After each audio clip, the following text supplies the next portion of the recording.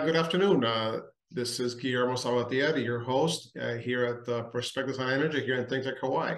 And today we'll be discussing the challenges, like navigating NERC compliance challenges when it comes to integrating battery energy storage systems into existing generating facilities. So thank you again, welcome. And uh, I am the Director of International Services at HSI. And earlier this week, we had the opportunity to actually have a webinar on the, this particular topic. And uh, definitely looking forward to actually having more discussions on this. And one of the things that uh, there, there's a lot of like uh, concerns and anxiety regarding how NERC compliance is going to impact these different utilities or e even the generator owners. So hopefully here we'll be able to, to, kind of describe what those challenges are and how to hopefully address them as uh, we move forward. All right, so uh, next slide, please. Okay, so the integration of battery battery energy storage systems, that BESSs, right? In this case, uh, one of the biggest issues, of course, now is the fact that uh, up until now they had a uh, threshold of 75 MVA or megawatts in that case, and there was a certain, uh, I think it was 100 kV or above. Now they've lowered that threshold. NERC is make, making it 25 MVA, and it's of course uh, so now your your overall facility aggregate output, if it's 25 MVA or above, then you're definitely subject to these new standards, right? At the same time, you're also, uh, if you're connecting to a transmission facility that is 60 kV and above, so used to be 100, now it's 60 kilovolts, then you're definitely now within the scope of uh, compliance requirements. So what does this all mean, right? So um, a lot of different entities have been, have been considering whether they, they want to get into this business. Others have been thinking whether they want to divest and get out of this business. The truth is, it's really not that hard to be uh, NERC compliant. It just requires a little bit of planning, uh, understanding the NERC standards, understanding what the what the requirements are, and uh, just getting the right docu- the right documentation. All right, so hopefully we'll be able to outline some of the issues that are typically encountered in these uh, particular challenges. Next slide, please. All right, so there's two different ways to um, to actually incorporate into this, right? So uh, one of the challenges is, is, the, of course, a modified startup approach. Uh, when you're looking at either incorporating the BS BESSs or the it should be treated as a modified startup process, or you can look at it as existing facility procedures will need to be adjusted to account for the unique characteristics, right? So either it's uh, you're you're looking at starting scratch when it comes to installing a whole new facility. Uh, that will be probably the, the ideal case. But if you already have something existing that's already running, it's already uh, uh, already gone commercial, then in this case you may need to revisit those procedures, those uh, documentation, that evidence, and be able to for that particular uh, characteristic and those uh, and those assets. What does that even mean, right? So let's go to the next slide. So looking at the existing procedure update, right? One of the things that we're looking at here is um, understanding, right? Uh, there's different standards that are impacted. So a CIP, COM, communications, or, or TOP3. So uh, let's go through each of these, right? So uh, when it comes to CIP, of course, uh, critical infrastructure protection, you're looking at cybersecurity, uh, who has access to these sites. Now, mind you, any of these facilities that's connected to the bulk electric system, which is uh, these uh, transmission elements have tied to the general to, to the general grid, right? Uh, potentially, you could actually impact the reliability and performance of the grid in general by affecting these assets. So that's why CIP uh, standards become important, whether it's who gets training, access, uh, firewalls, uh, and pretty much everything that impacts the general facilities for, for typical generation will impact this. Now, in that in this case, for example, um, identifying, for example, whether you're you're a high impact or low impact facility, whether you're a uh, you're a facility that, that, that is close to, a, for example, a, larger power plant, or even close to a to a vital transmission system. Well, you know that that'll that'll make you more of a medium or higher impact facility. But if you're somewhere pretty remotely far off, uh, chances are you may be a lower impact facility in this case, right? Uh, the other interesting thing here as well is that you also uh, access. If you have, for example, physical access to the facility versus cyber access, access to those facilities, those, those are things that are going to have to be examined and understood. Uh, in most cases, uh, you're already doing that. A lot of it is basically good housekeeping when it comes to IT and cybersecurity. Um, you're doing the same thing when it comes to physical security, but in some of these places, right now, you may require, for example, electronic badge access, logging in, logging out, and then um, which most places already have.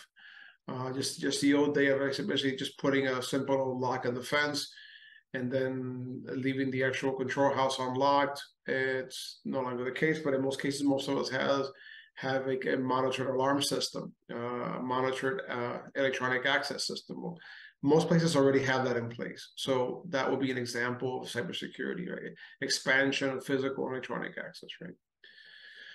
Uh, when it comes to COM communication standards, uh, there's two of them, COM 001, COM 002. Uh, here, for example, you have the initial training. If you have an operator that is going to be receiving instructions from a control center somewhere else, from the balancing authority or from the reliability coordinator, usually a balancing authority or transmission operator, well, they need to be trained on how to receive and and, uh, and respond to operating instructions or how to communicate uh, with these different entities. And usually it's a protocol they follow on, on three-part communication. The other thing, the COM 001 uh, may have the need to actually have um, testing or have uh, primary and backup training, um, back or primary or back communications uh, capabilities. Well, so they can actually have a uh, have a phone call or be able to be uh, be accessed at any given time. Um, in some cases, actually just having simple emails uh, usually suffices, right? The, the, the idea is to actually have a defined uh, primary communications and then uh, maybe participate in the whole backup. most everybody has a backup communications capability.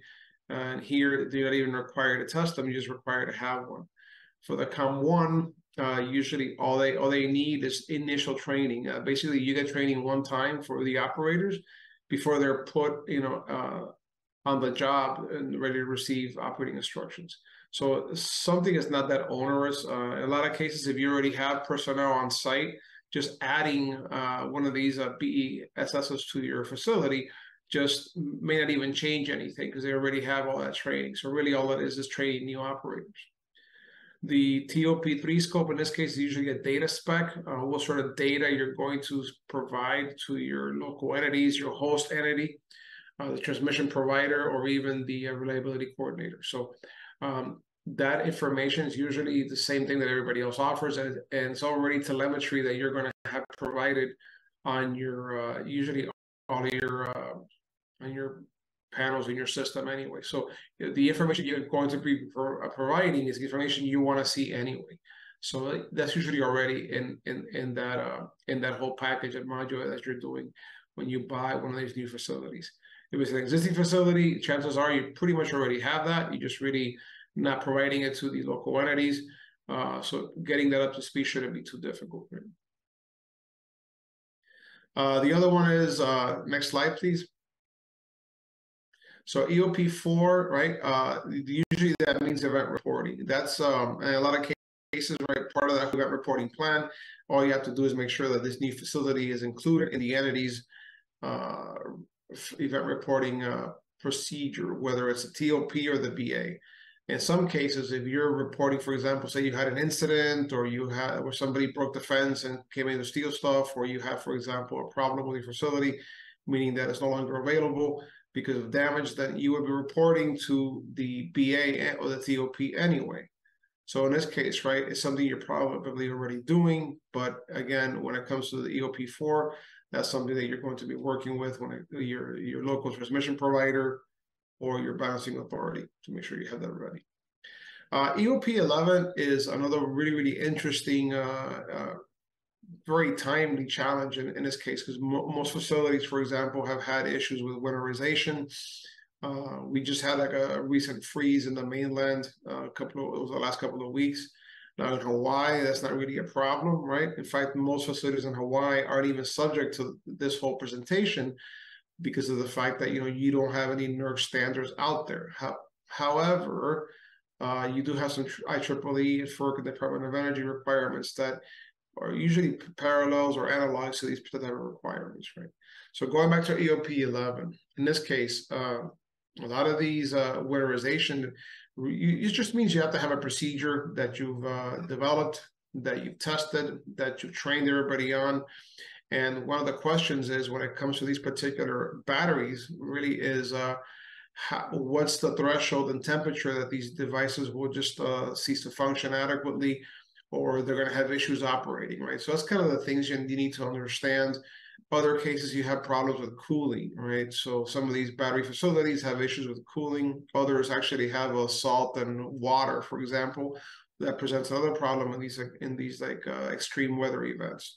So the whole point is to make sure that you have all these parameters clearly defined, understanding what these temperature thresholds are, and to make sure that those are reported to your host balancing authorities or your host transmission operators, right? FAC1 and FAC002, this is how you interconnect to your uh, host entities. So you may be subject, you, you will be subject to these new, uh, well, these, these old standards that have been around for a while, but all that is really is how you interconnect. Now, the fact of the matter is that if you're already an existing facility, chances are you already have all of that done and you have paperwork to prove it. It's important that you have paperwork to prove it. Otherwise, you may need to get for yourself some updates with your local transmission operator, or transmission owner, right? Same thing with the balancing authorities, right? Understanding what the uh, how they are how they were notified of your output uh, when it comes to megawatt MVA uh, and the real reactive power capabilities to your to your different host uh, entities. Next slide, please. Okay, the next one, vegetation management, right? So um, if you're already hooked up to a transmission facility, chances are you're there that's already being managed for you. But if you own the transmission assets, if you own the transmission line that connects your facility to another transmission area, then you will be uh, subject to that particular uh, the standard and the requirements they're in. Uh, so uh, transmission management, uh, vegetation management, really is just a matter of you know making sure you you uh, you follow the um, the guidance when it comes to maintaining uh, vegetation away from the transmission right away. So in this case, it becomes a problem. Now, when it comes to substations, right, you may have you of course have to maintain the perimeter or that substation to prevent uh, vegetation getting into your your energized assets in that station. IRO 10 and TOP3 again uh, from the previous slide. It's just what it is: is the uh, data exchange exchange spec with the RC, the TOP, and the BA. So it's a, the reliability coordinator. You're going to share data with the transmission operator, and of course the balancing authority. So IRO pertains to the RC, TOP pertains to the T TOP and BA.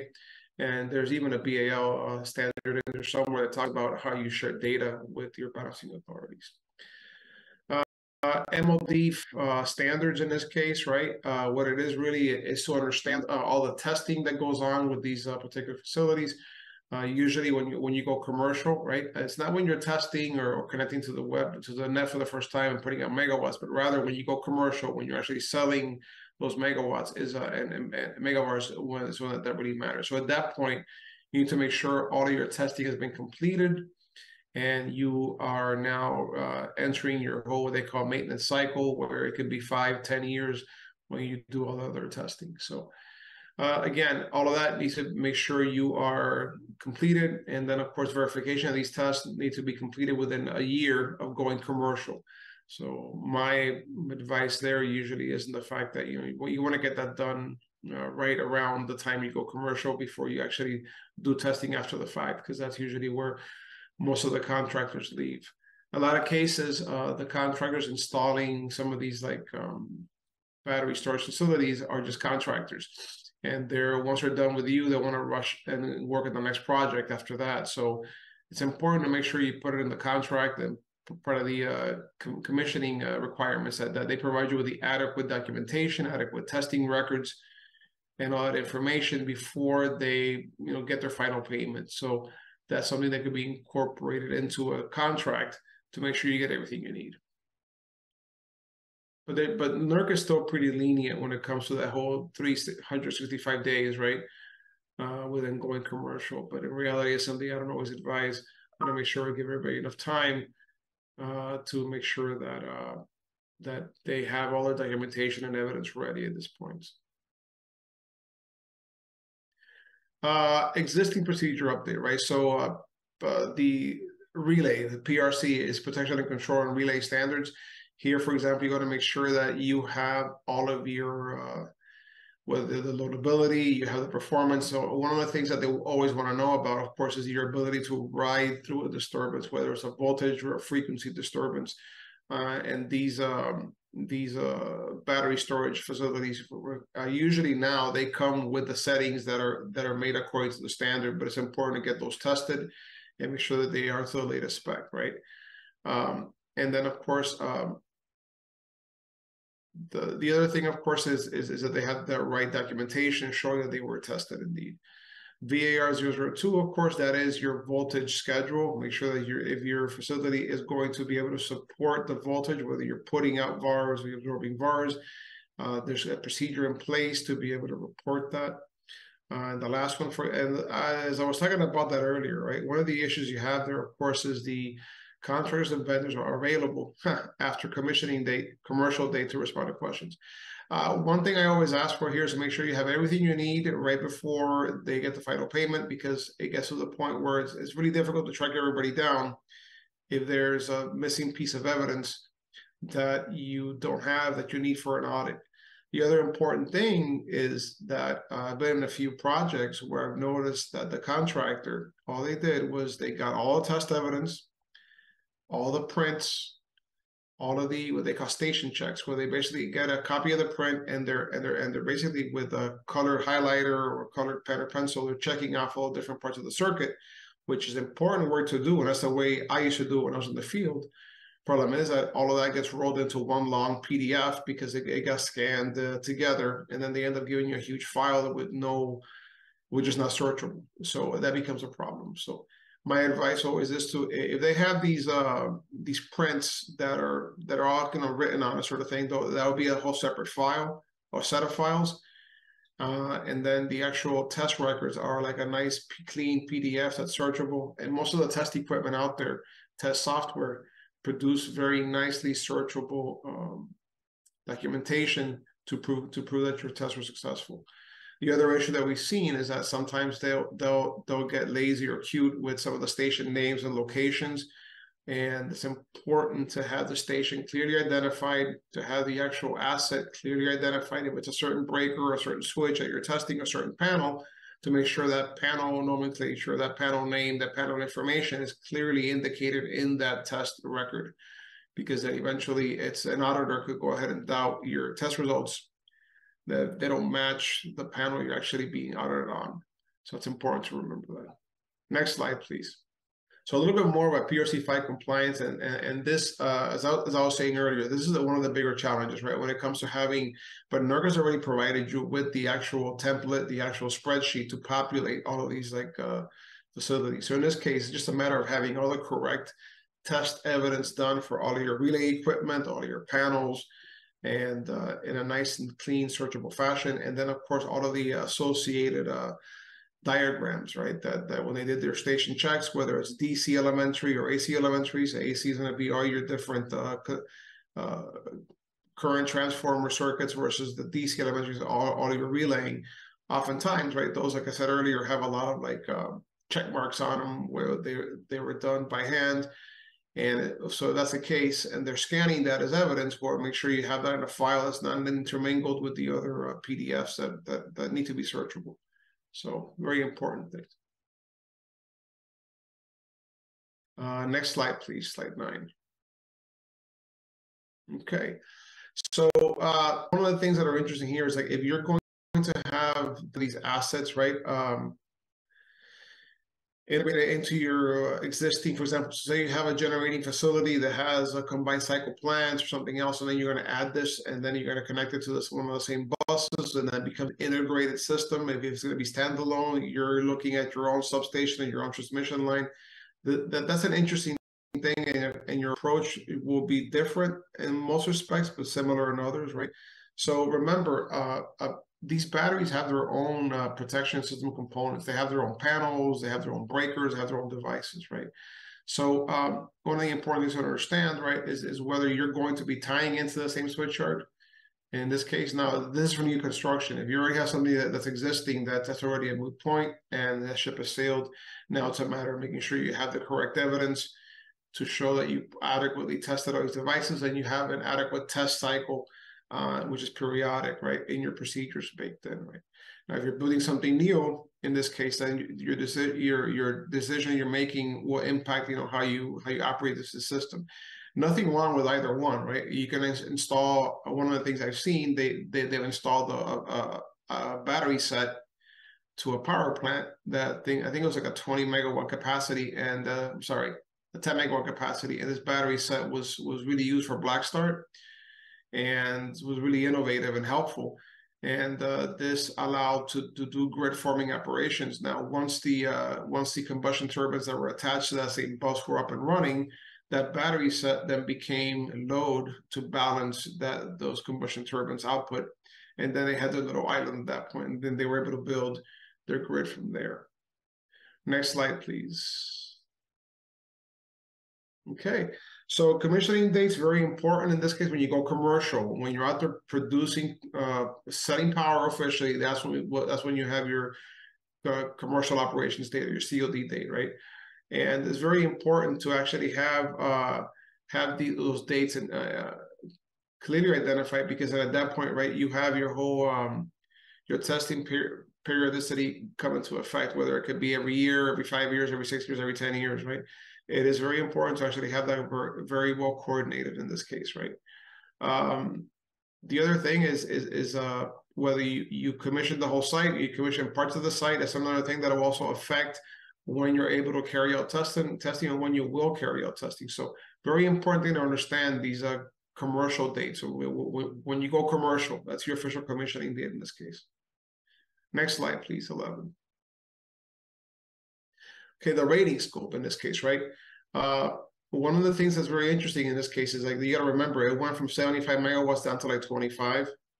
Uh, and in this case, now you're you're you're put you're pushing out um, megawatts uh, that if if you have been commercial for a while and now all of a sudden this threshold moved beneath you, now you're suddenly, uh, of course, it also need to be connected to a 60, 60 kV or above now all of a sudden you are you are uh, subject to these standards, right? So in this case, um, one of the things to consider right now, if you're deciding to build facilities that are going to be limited to uh, under this threshold, that is up to you. But remember, in the future, uh, NERC and FERC may decide to actually change this threshold once again, so you can be operating four or five years from now and everybody decided to just build facilities that are right beneath this threshold, and then NERC decided to go ahead and you know move the the goalpost once again. Now you're back into the same situation you are now. So uh, again, uh, things to understand when you install these facilities to your existing facility, you may need to reevaluate, you know, how this impacts your output, whether it's VARs or how you support the the uh, the voltage in this case. Okay. The other thing here, the last one that we're talking about is PER 006. And this is important regarding uh, generating facilities and the personnel that operate those facilities. So in this case, for example, if you already have a generating facility and then you're just adding this BESS, you may need to uh, update your training and uh, let let the let them know how that facility will impact the bulk electric system. Uh, if you're if you already have a generating site with personnel, you should have already had this training done. So just a matter of updating it and to let them know what adding this new battery storage system will, will, will do and what impact that will have on the system. If it's a brand new site, then of course you know you need to train and educate your operators on how the operating operation of this battery site or disturbances can have an impact on the bulk electric system. So in this case requires, for example, a lot of coordination and planning and to understand right how they will they will have an impact on the on the grid that they're connected to. So uh, this is pretty much it. Last slide, uh, and then um, if you have any questions, feel free to leave uh, some comments below on the on the uh, on the uh, on the video, or feel free to uh, look us up on HSI or email me directly or send me a message we'll be happy to answer them. So again, a, a little short one. We had a similar uh, video a few months ago on, on, on what was looming, and here is uh, as, as, we grow closer, we're already looking at the particular standard. So uh, thank you again for joining us, and uh, uh, go ahead, like and subscribe. And I encourage you to ask questions and add comments so we can follow up on the, anything you have questions with. Right. Thank you so much, and have a, a wonderful afternoon.